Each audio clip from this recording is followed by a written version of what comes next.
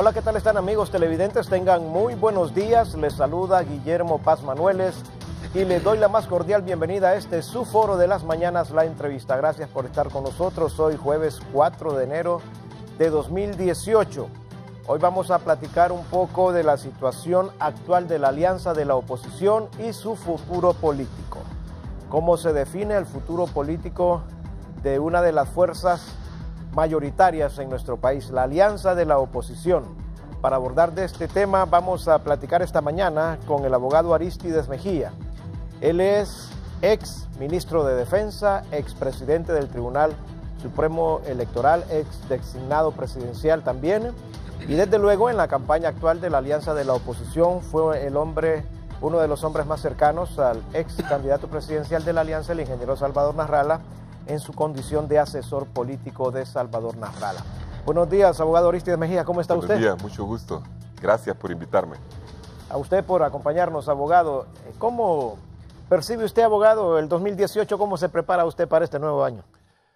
Bueno, mire, para todos los hondureños este es un año de incertidumbre, es un año de, para la mayoría de, continuar en la lucha democrática contra lo que la mayoría del pueblo considera eh, un régimen autoritario que, ha buscado perpetuarse por medios ilícitos, primero violando la, constitución en cuanto a la reelección, y segundo, que no bastándole eso, se roban una elección. Entonces, eh, la gente está a la expectativa, y yo percibo entre todos los que me preguntan, entre un lugar y aquí mismo, la gente me pregunta, ¿y qué va a pasar? Es, eh, entonces yo diría que el signo de este año para todos los hondureños es la incertidumbre, incertidumbre también para, para la economía nacional, porque un país que, que pasa a tener la etiqueta de un país inestable políticamente y con, una, y con un gobernante que se ha impuesto por fraude, eso no se da en América Latina, se da en África normalmente. No, no se da, realmente este continente ya evolucionó en la mayor parte de, esta, esa etapa. Hay problemas de democracia en otros países, no hay que decir que no, eh, pero, pero no se da que, que un candidato se robe descaradamente una elección que está ganada por la oposición en, en tres horas, cuando cambia el servidor en el Tribunal Electoral y que ya está ahí reflejado todo en el informe de la OEA de cómo ocurrió. Entonces, eh, me parece que eso es lo, que va a marcar este año. Ahora, en cuanto a nosotros personalmente, siempre la disposición de luchar, porque hemos emprendido esta lucha no de ahora. Eh, nosotros hemos luchado por la democracia.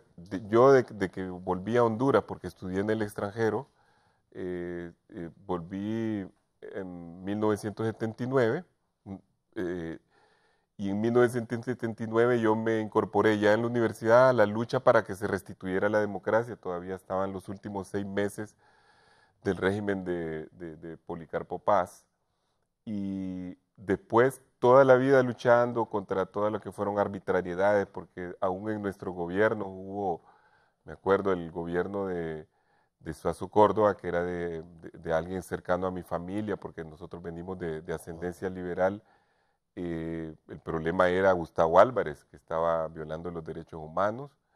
Eh, y así, y, el, y, lo que vemos a través de la historia de Honduras es la misma repetición de los mismos o de sus hijos o de sus nietos.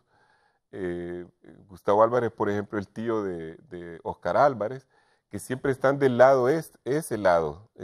Juan Orlando es hijo de otro militar del, del carillismo, y el Carías fue un dictador, eh, después, eh, cada vez que los nacionalistas están en el poder, lo mismo, robo y, dictadura, robo y dictadura, robo y dictadura. Acompañé a Manuel Zelaya en el gobierno, él, me hizo el honor de, ser ministro, fui ministro de defensa de su gobierno. Y cuando nos derrocaron, eh, no porque estuviera de acuerdo con su ideología, pero me pareció un atraco a la democracia, me fui al exilio, estuve en el exilio ocho meses eh, y aquí la lucha continúa, nosotros ya estamos eh, curtidos en esa lucha y, y, ha pasado mi vida, el transcurso de mi vida y veo que desgraciadamente la, situación de Honduras no, evoluciona, sino que involuciona, porque había un momento en que habíamos llegado a, una democracia que funcionaba, Yo me acuerdo cuando la campaña de, Reina y, de Osvaldo eh, fue una campaña muy dura porque las dos partes tenían fuerza y estaban enfrentadas. Al final se impuso Reina con una gran ventaja. Osvaldo a las dos horas reconoció, reconoció el triunfo de Reina. Así debe de funcionar una democracia. Entonces no es necesario en una democracia que en realidad venga eh, la observación o países extranjeros a decir quién ganó, pero eso se debe a que nuestras instituciones no funcionan. Usted después de eh, ser miembro del Partido Liberal se incorporó a Libertad y Refundación. ¿Cómo se incorpora a Libertad y Refundación Libre? Bueno, ahí la escogencia no era difícil porque yo consideré, hice una carta muy formal al respecto, al regresar al país del exilio, que, que el liberalismo del que el momento había fallado a sus principios, que el Partido Liberal nunca había protagonizado un golpe hasta ese momento y que había, se había prestado a, hacer un golpe de Estado contra su propio presidente. Eh, y yo era de los que estaban, eran favorables a que permaneciéramos aún así dentro del Partido Liberal porque consideré de que el Partido Liberal era el único que podía hacerle frente al Partido Nacional, porque la mayoría de la masa eh, del país era liberal y que si dividíamos esa masa, pues al, final íbamos a favorecer al Partido Nacional. Y cuando eh, Manuel Zelaya Rosales regresó un año después, yo vine en 2010, yo vine al mes que estaba Porfirio Lobo regresé. Y después, con los acuerdos de Cartagena, regresó como un año después eh, eh, Manuel Zelaya y otros, otros compañeros de gabinete.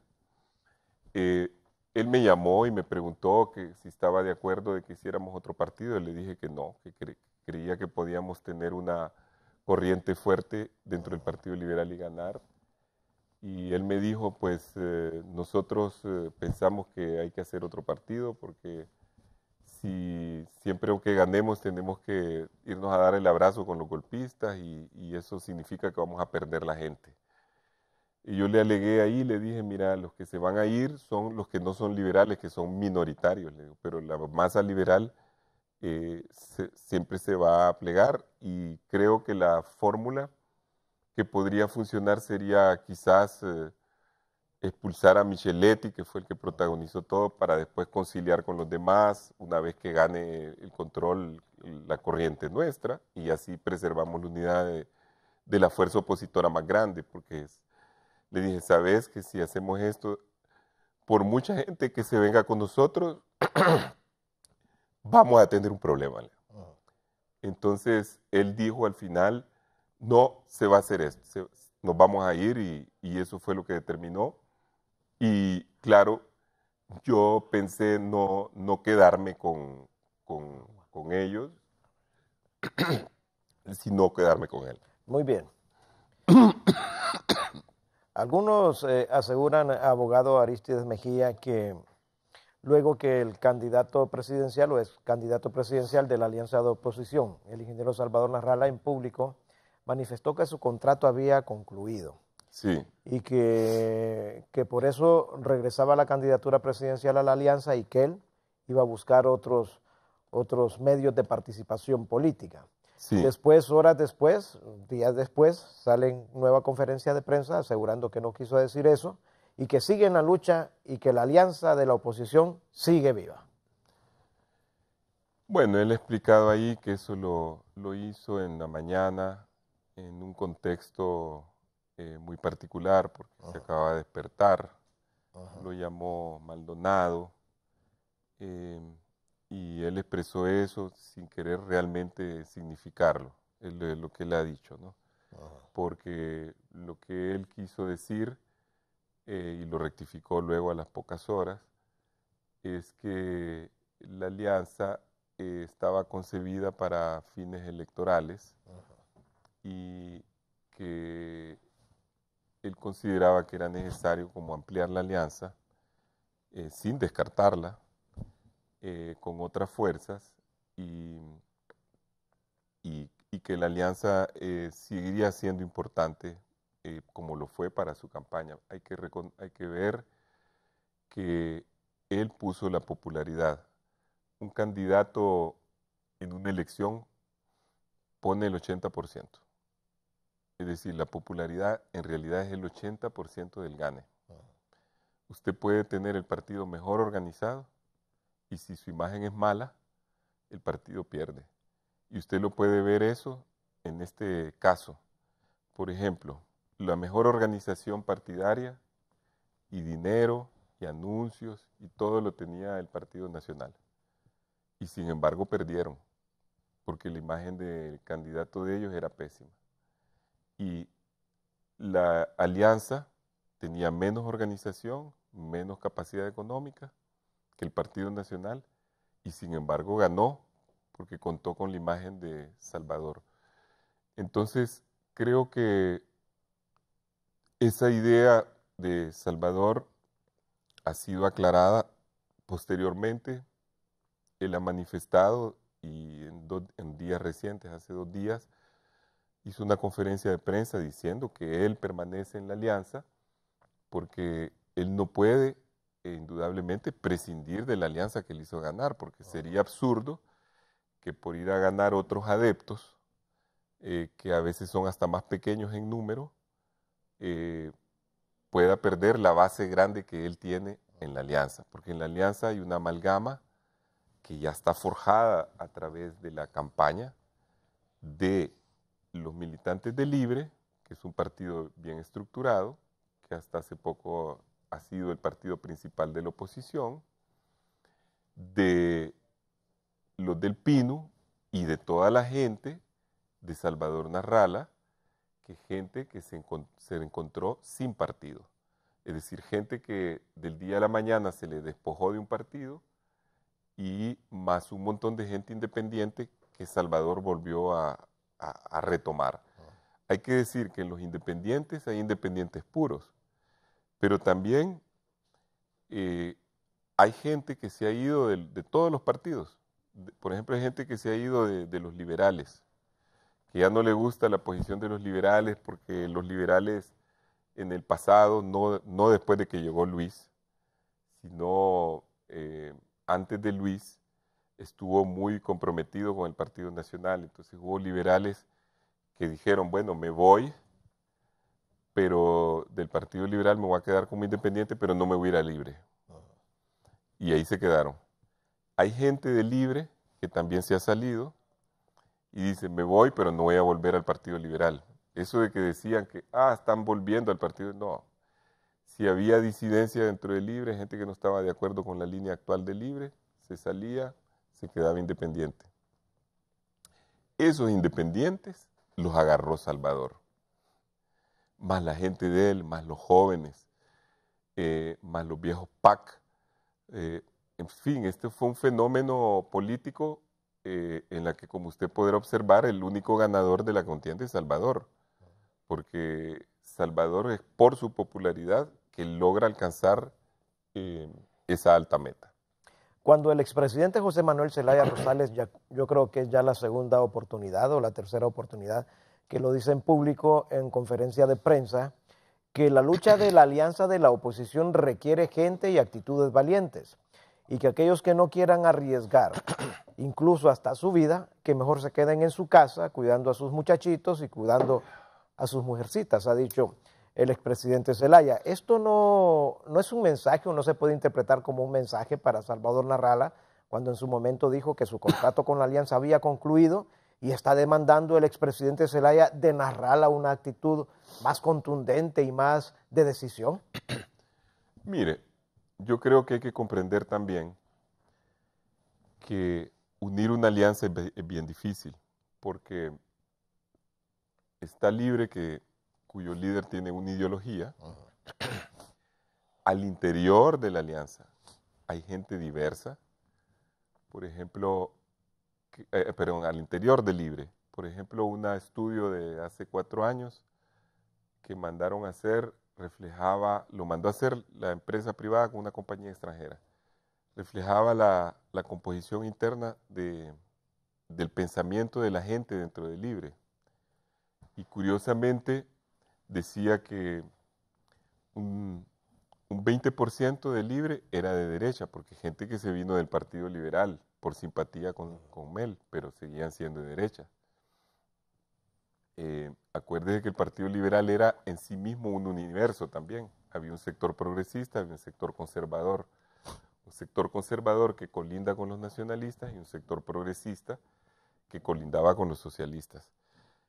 De ahí, dentro del Libre había entonces un 20% de gente de derecha, un 40% de centro y un 30% de izquierda.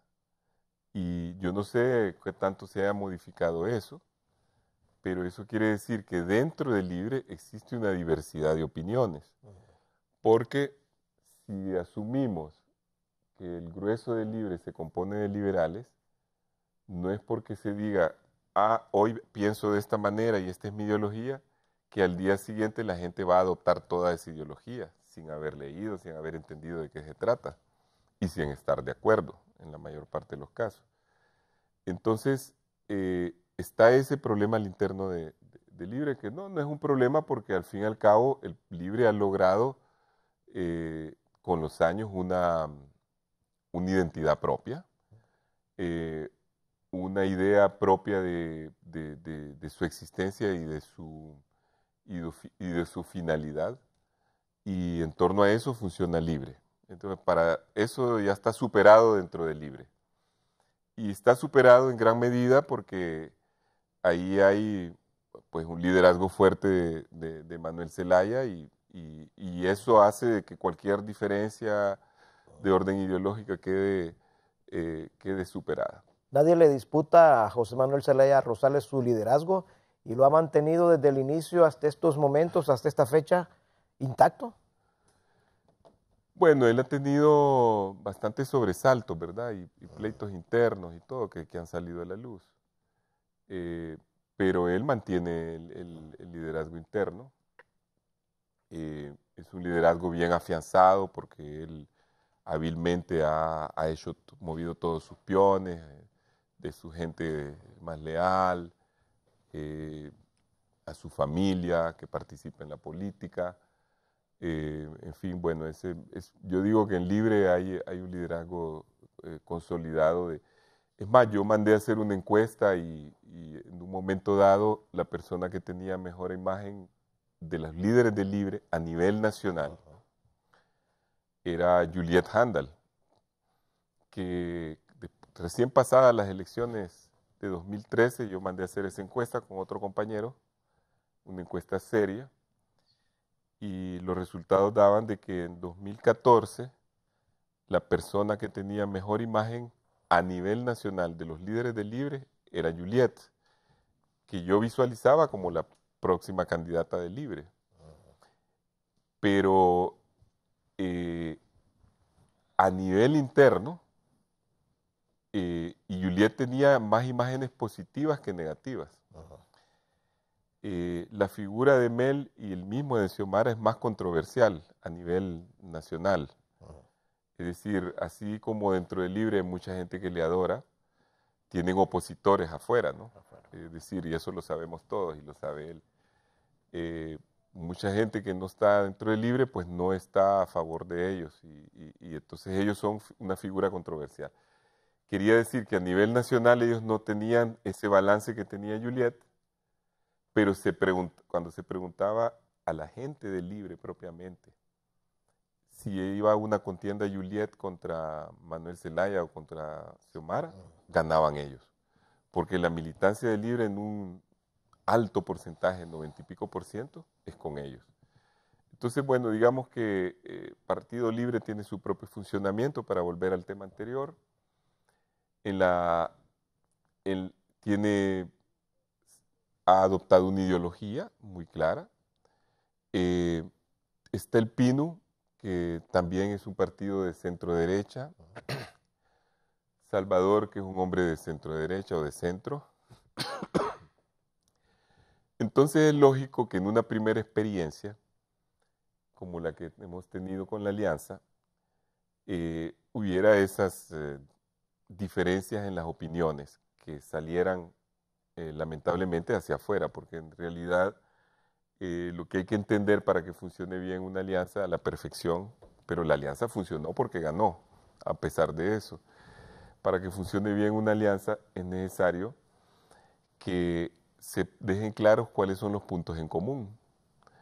Y, por ejemplo, eh, entre los puntos en común estaba luchar contra Jo, contra lo que se llama Jo, que es una dictadura, restablecer el Estado de Derecho, eh, ir contra la corrupción, eh, promover una consulta para ver si la gente quería una constituyente. Hay 17 puntos ahí, pero a veces, cuando llegan los momentos difíciles de la política, empiezan a surgir algunas diferencias y cada quien se acuerda de lo que, de lo que es su ideología o su manera de pensar y mete elementos que no forman parte de las cosas acordadas. Entonces, también cada uno tiene su estilo. Eh, el estilo de Salvador es de una persona de ciudad, persona altamente civilizada, educado, eh, etcétera, ¿no? Pero es muy valiente. Salvador es un hombre muy valiente. Yo no he visto a ningún otro líder, ni incluido Mel, que se enfrente tan directamente a Juan Orlando y que le diga las cosas que le he dicho a Juan Orlando. Juan Orlando mismo tuvo miedo de, enfrentar a, Salvador, porque Salvador le decía las cosas más, fuertes eh, que él sabía de lo que, estaba, que estaba cometiendo el Partido Nacional, con total crudeza, con total arrojo, con total... Pero eh, el estilo de Mel es otro, porque Mel viene de otra manera de ser, entonces él, piensa que, por ejemplo, eh, más importante que, lo que hace Salvador es tal vez ir a las calles y demostrar de que, yo me acuerdo cuando dijo eso, eh, estaba frente al Estado Mayor retando a los militares y le dijo a los militares, quítense las armas y agarrémonos como hombres. Y, y, yo no, no, veo a Salvador diciendo eso, entonces espero para mí Salvador es un hombre muy valiente, ¿no? Y que él, cada quien luche en la política de la forma como, como cree que debe enfrentar la política, ¿no? En una rueda de prensa, el expresidente don José Manuel Zelaya Rosales se descubrió su pecho, desabotonó su camisa y dijo, si lo que quieren es liquidarme, aquí estoy. Denle, estoy preparado. Esas actitudes no se las hemos visto a Salvador Narrala. No, por lo que, usted, por lo que usted comenta, hay son diferentes formas de llevar la Porque son personalidades diferentes, ¿no? Yo he participado en la política en cosas que han sido peligrosas para mí. Cuando yo digo cosas contundentes o informaciones que yo tenga, que yo revelo, porque yo lo digo también, un montón de cosas al, al estilo de lo que ha dicho Salvador eh, a veces me ha tocado decir, miren, yo sé de esto y esto y esto, y casi siempre cuando lo digo es porque tengo un fundamento, o siempre, mm, eh, no, no me baso en chismes. Puede ser que alguna vez haya dicho una cosa que haya cometido un error del dato que esté dando, pero yo, uno corre peligro, porque yo ya fui perseguido una vez, ya tuve que ir al exilio, sé que me pueden mandar a matar también, este es un régimen que, que, que no se toca los hígados. Eh, es, siempre peligroso. Son riesgos que cada uno asume, pero cada uno decide cómo y de qué forma lo asume eh, y, en qué terreno, ¿verdad? Yo eh, creo que a veces venir a un plató como este es más peligroso que estar en una calle allá. A veces es más peligroso. No digo cuando los muchachos están enfrentados a los militares, ahí corren un peligro terrible y por eso su vida es, es, odioso lo que está pasando de que estén matando gente. Pero también hay unos que se quedan en la parte de atrás de la manifestación y nunca tomen un riesgo. Y, o hay otros en la política que alientan a que la gente vaya a la manifestación y ellos no van. Y son dirigentes también.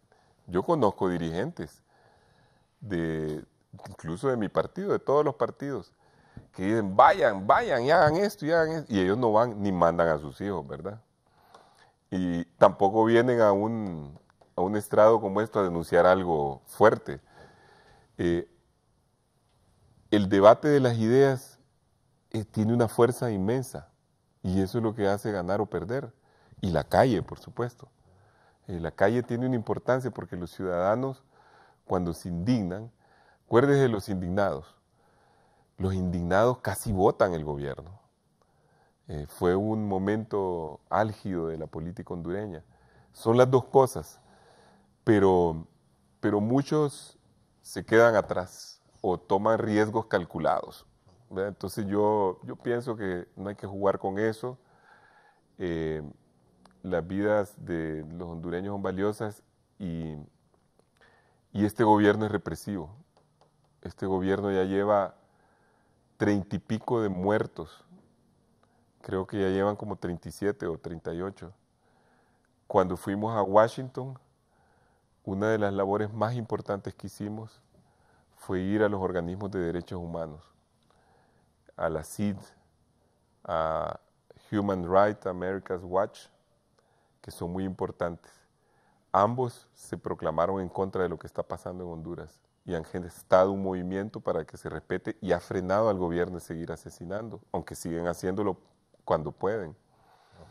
Eh, eso es una labor importante que hizo Salvador en Washington, eh, con todas las organizaciones sociales también que se reunieron, en la que hubo organismos importantes de ONGs dedicadas a América Latina.